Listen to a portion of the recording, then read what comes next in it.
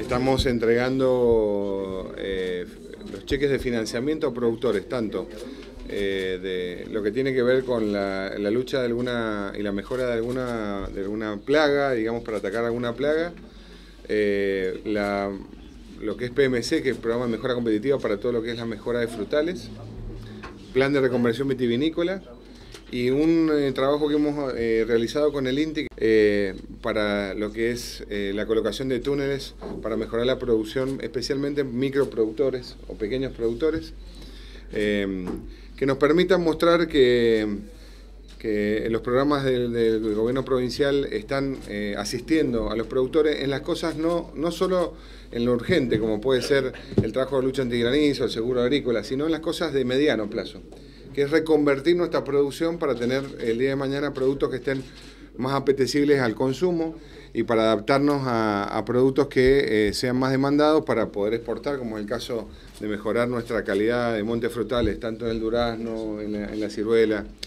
Esto viene a completar eh, lo que empezamos el año pasado con el plan de eh, mejora competitiva y, con el plan de reconversión vitivinícola.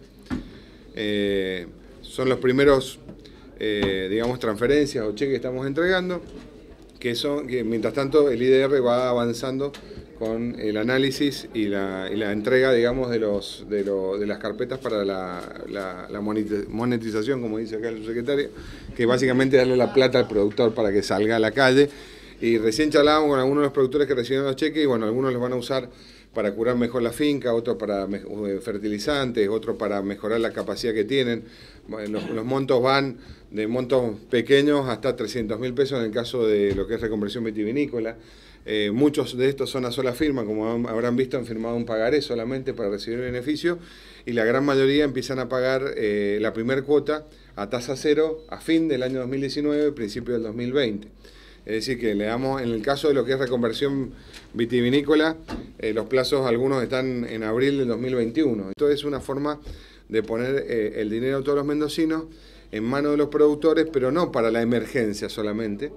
Bueno, en este caso hemos entregado 14 transferencias o cheques, como lo quieran llamar, eh, de esta tanda, ¿no? Pero tenemos, en el caso del número que tengo en la cabeza, es reconversión vitivinícola, 199 en toda la provincia, 75 ya hemos entregado. El PMC, que es el programa Mejora Competitiva, empezó en la zona sur, es decir, con los frutales empezamos en la zona sur. Para esto hay una inversión total de los proyectos, por ejemplo, en el caso de la reconversión vitivinícola son 40 millones de pesos los que se van a entregar. En el PMC son... También 40 millones. 40 millones de pesos más. Más todos los demás, estamos superando ampliamente los 100 millones de pesos de inversión directa.